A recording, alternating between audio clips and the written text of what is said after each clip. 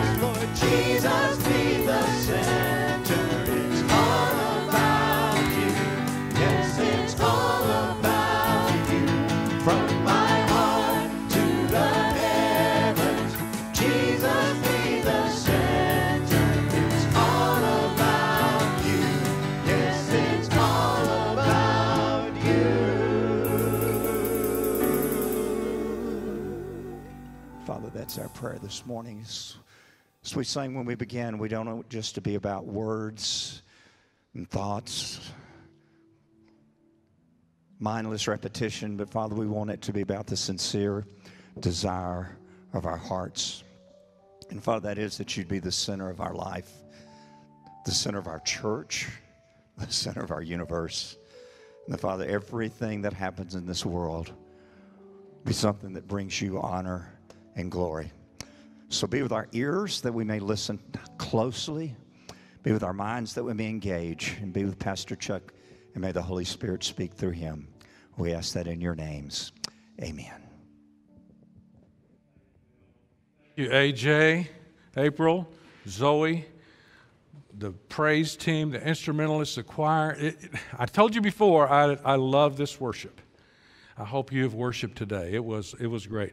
One of my favorite songs is Revelation songs. Thank you, AJ and April, particularly. Paul Arms is the uh, interim president of Howard Payne University, and he is fond of saying, I've been hired to be fired. I'm excited about your church. This next Sunday, you'll have a pastor in view of a call. Won't that be great? Won't that be great? Thank you. I, have had a wonderful time. Connie's had a wonderful time. We thank you for this opportunity. And uh, we now have you in our hearts. So thank you again.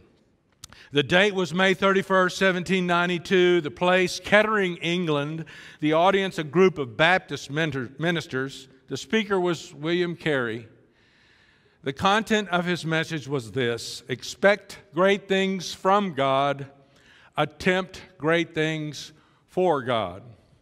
The result on October 2nd, 1792, the Baptist Missionary Society was founded. It was the forerunner for our modern missionary movement. Two weeks ago, we affirmed this church in three categories the place of Scripture, the place of our doctrinal beliefs, and the place of missions and evangelism. Honestly, we could have spent hours, perhaps even all day, discussing all the good things about First Baptist Church, San Angelo. I affirm you again for those things, and I thank you for your ministry in this city, in this state, in this country, and literally around the world. I am grateful for First Baptist San Angelo. Last week I used Revelation chapter 2, verse 2 to 5 to share what needs improvement in this church and in churches around our state and around our country. The bottom line is that churches have lost their first love. They are no longer focused on what they need to be focused on. We have a very difficult time, it seems, keeping the main thing the main thing. You and I must love God supremely and love others as ourselves. That's the main thing. What's right? What's wrong? What now? How can we enhance what is right about our church and correct what is wrong about our church? Our text this morning is Isaiah chapter 54, and I'm reading verses 2 to 3. Enlarge the place of your tent and let them stretch forth the curtains of your habitations. Spare not, lengthen your cords and strengthen your stakes. For you shall break forth on the right hand and on the left. From this same text came William Carey's sermon, which, in my opinion, is the answer to the issues in San, San Angelo, Texas. Expect great things from God. Attempt great things for God. How do we get a handle on those imperatives? Those imperatives are significant for the future of this church and any church. But we got to have some handles. We got to have some practical things that we can do. There is a command and a promise found in this passage that is Carey's text they will help us get some handles to answer the challenges. The command is this enlarge the place of your tent and let the curtains of your habitation be stretched out. Enlarge and stretch out. That's the answer. Enlarge and stretch out. The commandment, from my perspective, is that we are to grow.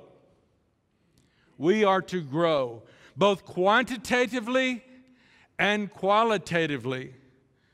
Like most churches here in America, we've stopped doing both. Now, I know there's exceptions. I'm not talking about those people who are exceptions. I'm talking about us in general. We are not growing. In our case, we could say that we're waiting for a new pastor to lead us to growth. I've been a part of many churches that had an interim situation, and honestly, that's the attitude every time. Well, we just wait for the pastor. We're going to get a new pastor. He's going to lead us in the direction that we need to go and we wait for the new pastor to do that. Now, there's some truth in that. I'm not, I'm not saying that's not true. We're going to get some new ideas, some new direction, some new thinking, some new vision uh, for the future. But honestly, that's not in line with the Great Commission. As individuals and as a church body, to be making disciples right now right now. We don't have to wait for a pastor. A pastor will lead us. We're glad for that. But we don't have to wait for a pastor. And in fact, Jesus says, get out there and make disciples right now. According to these verses, we are to grow, we are to increase, we are to reach out. Our purpose is to win and train people for God as long as there are lost people out there, people who do not know Jesus Christ as personal Lord and Savior, our mission, our job, our command is to make disciples. We're to stretch out and enlarge. A couple of old song titles might help us. I was invited one time to sing for Gideons International at a song, uh, at, a uh, convention in uh, Cleburne, and they asked me to sing a song, and I chose People Need the Lord. People need the Lord. No matter their state, people need the Lord. A second song uh, came about to me way back in the 60s. Some of you will remember those days. Yes, my birthday was yesterday. Yes, I had a great one. Yes, it was a big one, etc. But in 1967, I was invited to sing the solo from the Good News musical, Do You Really Care? People need the Lord. Do you really care? I got to visit with the uh, writer of that musical, and he and I sat down, and he said, uh, Who are you caring for about becoming a believer? Whoa. I mentioned my best friend who lived across the street from me. He and I had had many conversations about becoming a Christian. As far as I know, even today, he has not made that commitment. But that was the thing that drove me as I sang that song several times that Glorieta was introduced out there, and we sang it several times. Do you really care? Do you really care? It made the song live for me because I identified a person a person for whom I genuinely cared. 2 Corinthians chapter 5 verse 14 to 15 from the NIV says this for Christ's love compels us because we are convinced that one died for all and therefore all died and he died for all those who live that all those who live might no longer live for themselves but for him who died for them and was raised again. The truth is our world is filled with negative things. It is filled with negative things. You will go to work, you will go uh, to the grocery store, you will go uh, to a retail store, you will go to the gas station and the post office and all the places you'll visit tomorrow, and you will find negativism. It's not all negative, I don't mean that, but I do mean negativism. And so when we start thinking about the church and what this church needs in order to become what it needs to be in this city, we feel a little negative. The truth is that pessimism and cynicism and criticism and unfocused vision will not accomplish the command. It must be the love of Christ that compels us. You and I cannot manufacture that. I cannot get up in the morning and say, okay, today, God, I'm going to love everybody.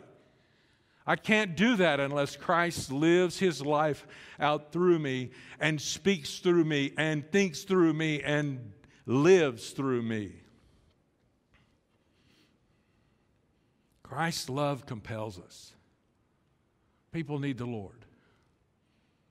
Do you really care?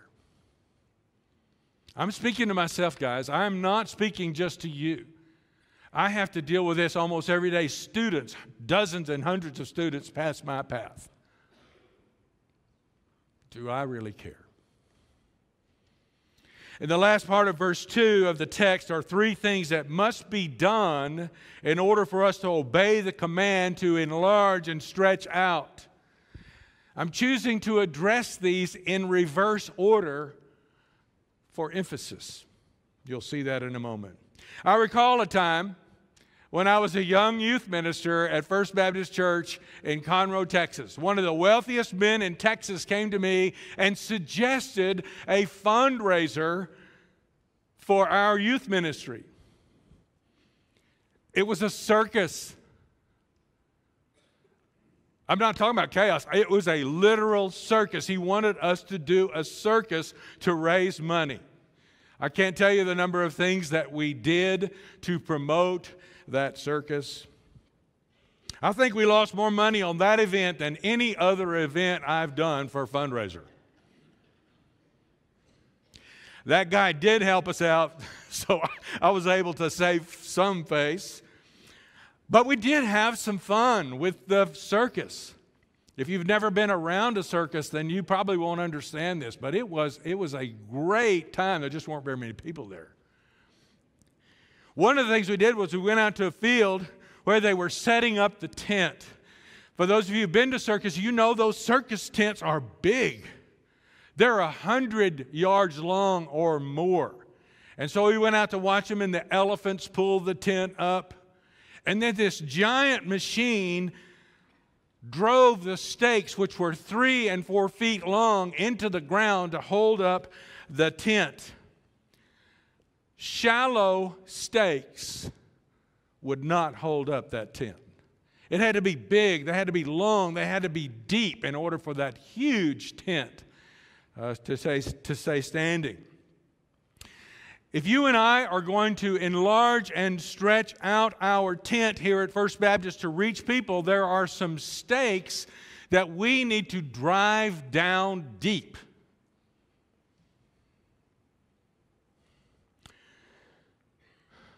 The first one is not painful for me to talk about, but it is painful for me, and I suspect you, to do. The first stake is our personal devotional lives. The church will only be as strong as the individual personal devotional lives of the members.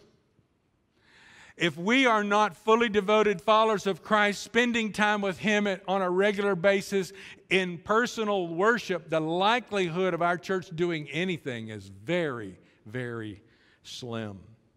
Just like a chain is only as strong as its weakest link, so it is with our devotional lives. In fact, I tell my students all the time if I could only tell them one thing, and I think I know a couple of things that they need to do in church, if I could only tell them one thing, I would say to them, take care of your own spiritual health. I say that to you today. I say it to me. Take care of your own spiritual health by spending time with the Lord in personal worship on a regular basis, not sporadic, on a regular basis.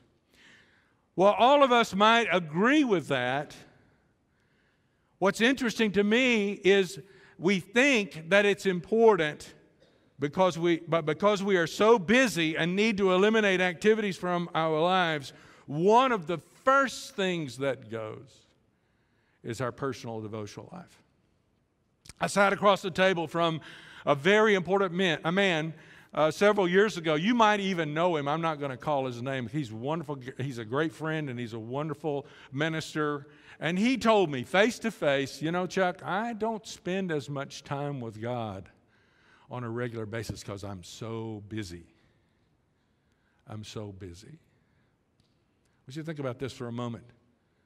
If you're too busy to spend time with the creator of the universe who has saved you from your sins, has given you a reason and purpose to live, then you're too busy. You're too busy. I'm too busy if I can't take time out of my day to spend it, some of it, with Christ. Personal worship. Last week I spoke of returning to genuine worship. I was not just speaking of corporate worship. Corporate worship is really important. I, I have a great time here every Sunday. But corporate worship will fail if we don't have personal worship. When I was in Lubbock, we had a deal in, on Thursday nights called Paradigm. Some of you may have even attended. Paradigm was a Bible study slash worship service that John Randalls, my friend, uh, started, and then he spoke at it for many years. Now, what you might not know about Lubbock, Texas, is that Thursday night really is the end of the week. It's really the end of the week. If there's a class on Friday, it's real unusual that people go to class. I'm just saying. I watched young people, students, praise God, raise their hands, sing out loud, cry, lay down in the aisle, and humble themselves before God in those worship services, and walk out the door and go five blocks to the depot district and get drunk. Happened every Thursday night. It's end of the week. I've had my religious fix. I'm going down to the depot district. I kept wondering in my mind what it was that caused that. How could that be that they would have such a wonderful corporate worship experience and yet go do that? Now, that's not the only thing. That was just the thing that was on my mind at the time. And then I heard J.R. Vassar speak at Southwestern Seminary in a youth ministry meeting. And he said this, and the moment he said it, and I've quoted it hundreds of times, the moment he said it, I knew what the problem was. He said the altars of corporate worship are crumbling because the altars of personal worship have crumbled. We need to spend time with God on a regular basis in personal worship. Quiet time is not just for young people, it's for everyone who calls himself or herself a believer. It's not either or, it's both and. It's not either corporate worship or personal worship, it's both corporate worship and personal worship. If you want to enter to the next phase, the next chapter of your church in a healthy way, we need to spend time with God in personal worship. A second stake that needs to be driven down in our hearts and soul is that we need to strengthen our Sunday school ministry. I don't know all the statistics of this church regarding Sunday school, but I do know that in decades past, it was one of the strongest organizations of Sunday school in this state. First Baptist San Angelo was one of the models of Sunday school. It was effective, it was reaching people, we were winning people here. But somehow that kind of got lost in the shuffle. Now, I'm not saying there's not good Sunday school going on here. Please don't hear me say that. I affirm what you do. But we need to start thinking pretty clearly about how we can reach and minister to people through our Sunday school. Because I worked at Lifeway Christian Resources for so many years, you can imagine all the reasons we heard that Sunday school was outdated. It was an old dinosaur, had an antiquated name, and the materials were just too hard to use. I can't tell you the number of calls I got dealing with those very things. I would go to a conference, and those would be the questions people would ask. Many would say that we have tried it and it just doesn't work. To that statement, I reply Sunday school has not been tried and found wanting. Real Sunday school has not been tried.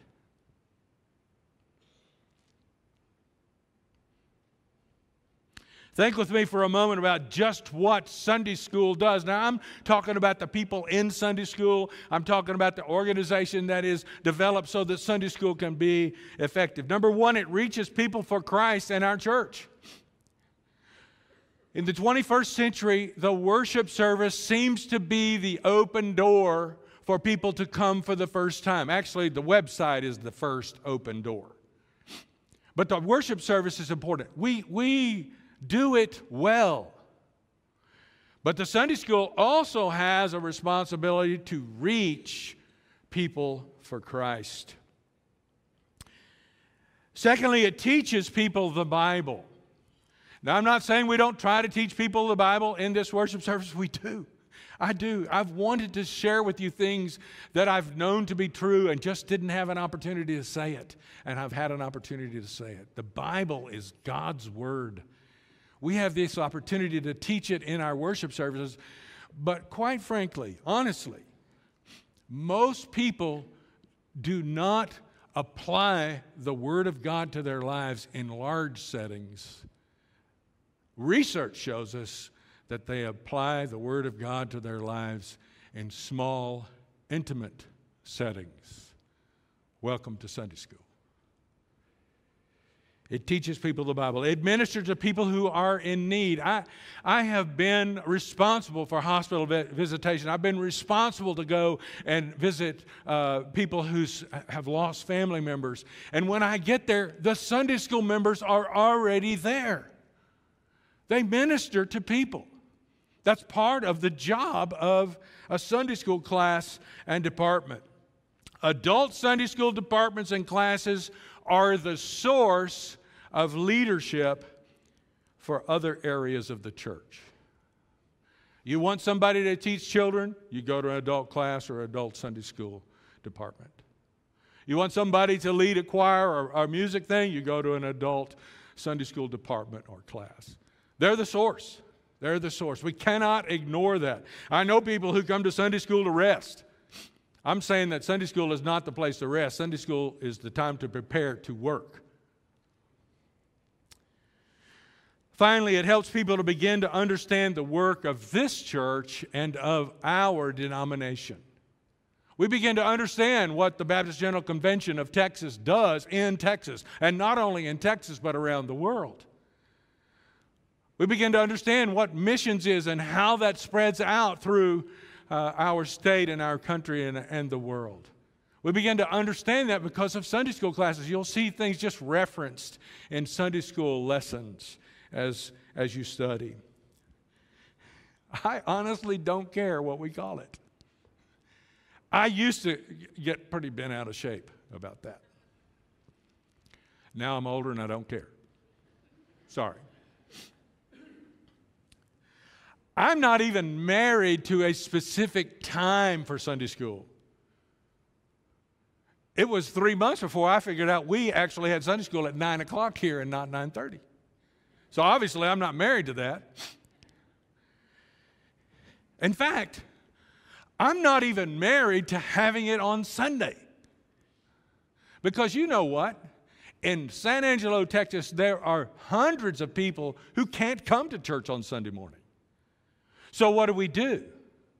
We have Sunday school for them. We take it to the streets. We go to where they are. Sometimes that's in a person's home.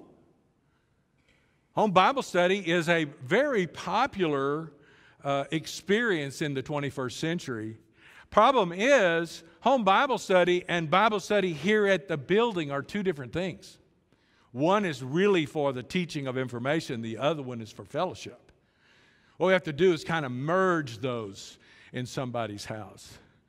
I t- I've told pastors we need to do both and. We need to have it here at the church, but we also need to have Bible study or Sunday school or whatever you want to call it out in people's houses. We can also do it in local restaurants. I've done Bible studies in local restaurants. You can do it at coffee shops. You can spend time in a circle with four or five people and have a meaningful Bible study in a coffee shop. You can do it in the dining rooms of businesses around this country, around this city. I don't care what you call it. I don't even care what time you meet.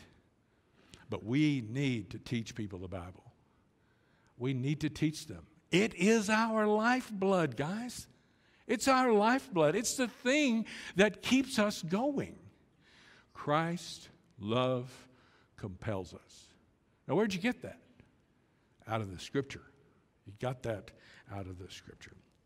The churches that work through the various classes that meet on Sunday morning. Sunday school is a Bible teaching arm of the church, but it is also the reaching arm of the church. When people visit our worship service, the Sunday school classes make contact with them. When people are in the hospital or have deaths in their families, the Sunday school is there to help. When there are physical needs in the lives of members, the Sunday school is usually there first to address those needs. The Sunday school is also the assimilation organization of our church.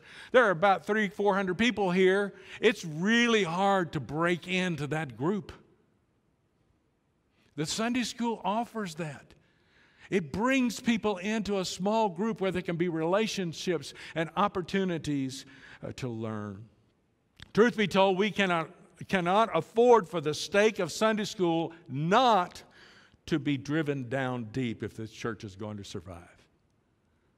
Again, I don't care what you call it. We've got to have Bible study. We've got to have Bible study. I get to be in lots of churches. Most all of them need workers, especially in preschool children, youth, and young adult areas of the ministry. We all know that we are not saved to sit, we are saved to serve.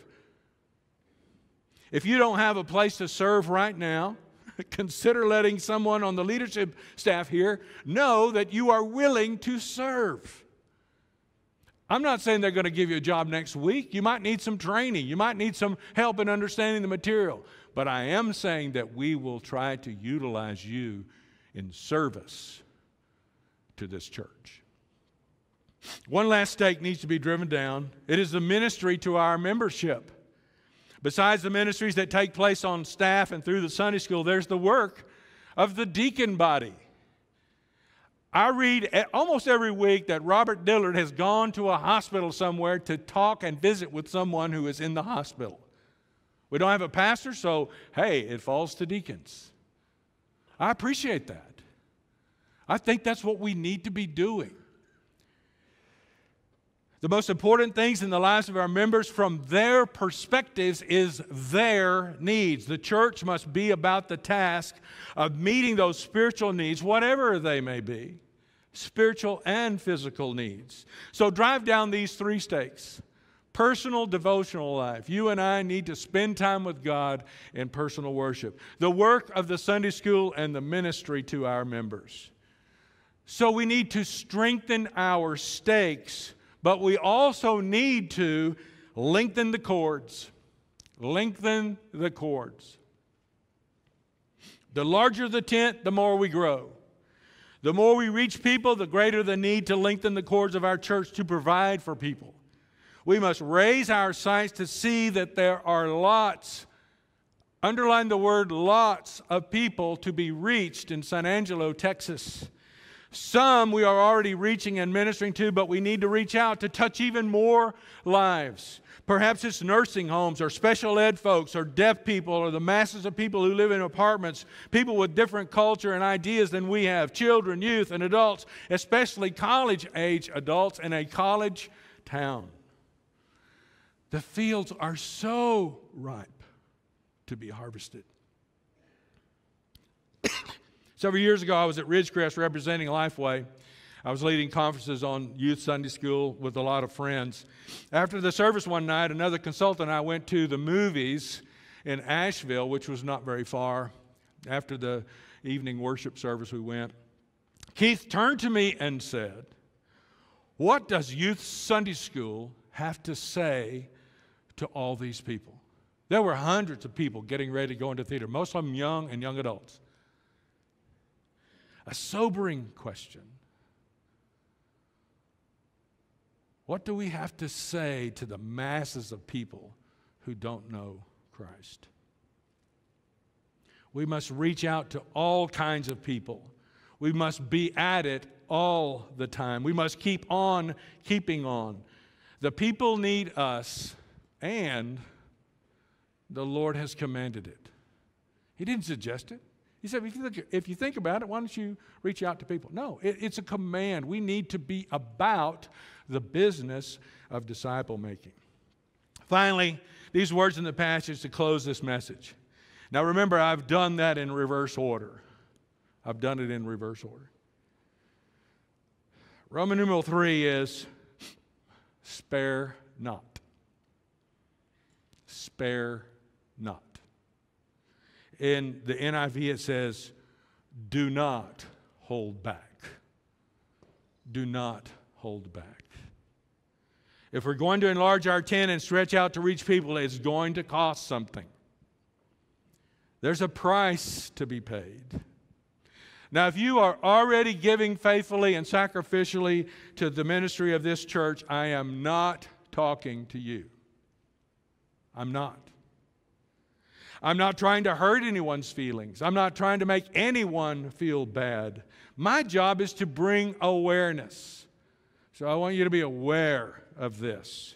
I don't know the exact numbers, but I suspect in a church our size that there are dozens of people and families who give less than $100 a year to this church.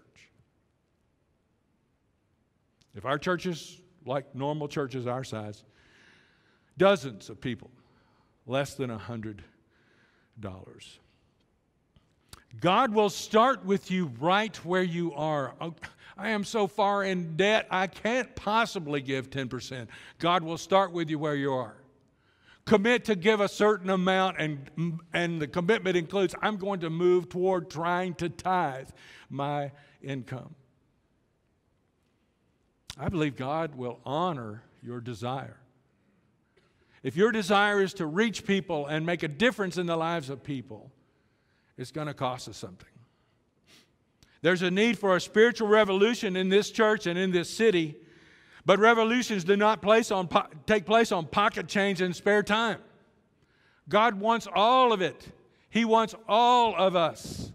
He wants us to be involved in the ministry of this church, in this community, in this state, and in the world. It will take a total commitment of our lives to Christ. George Bernard Shaw said it this way. You've heard me say this before. You see things as they are and ask why. I dream dreams that never were and ask why not? Why not? Did you know that it takes over $1 million to conduct a Dallas Cowboy game in a regular season game? $1 million to, connect, uh, to conduct a Dallas Cowboy game. Professional athletes get millions of dollars for their athletic prowess. Just this week, Manny Machado got a contract for $300 million for 10 years. That's $30 million a year to play baseball. Movie stars make millions for each movie they make, and for what? Entertainment. Entertainment. Entertainment. We are in the business of reaching people for eternity. For eternity. Strengthen your stakes, lengthen your cords, spare not. The command for FBC and for us as individuals is to enlarge the tent, to stretch out, and to spare not. The promise is found in verse 3. It's the good news. We do all those things. Now, we're not doing them as a, a mechanism, we're doing them because God has commanded us to do them. For you will break forth on the right hand and on the left. We will grow. We will teach the Bible. We will meet spiritual needs. We will meet physical needs. If we follow the command of God, God will be faithful to add to our church those who are being saved. William Carey said it expect great things from God, attempt great things for God. David Harrell is my friend. He was the minister of music at First Baptist Church in Conroe when Bill was at Oak Ridge Baptist. Uh, he's a good guy. He shared with me a story of one of his friends who was in an accident and boom, he was a paraplegic. The man said he was depressed for about 20 minutes. For about 20 minutes. And then asked the question which I ask you in this moment What now? What now? I don't know the decision you need to make today, or if there's a decision you need to make today.